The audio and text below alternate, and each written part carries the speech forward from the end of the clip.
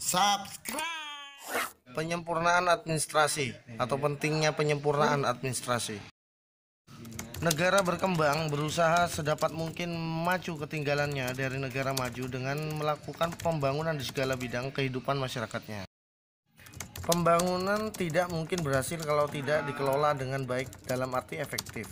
Pengelolaan pembangunan ini memerlukan administrasi yang gesit yang dapat menunjang pembangunan tersebut. Administrasi di negara berkembang pada umumnya tidak efektif, efisien, organisasi serta aparat-aparat kaku dan lamban, sehingga kadang-kadang dirasakan sebagai penghambatan pembangunan. Hal ini tidak boleh dibiarkan saja, tetapi harus diusahakan untuk menyempurnakannya.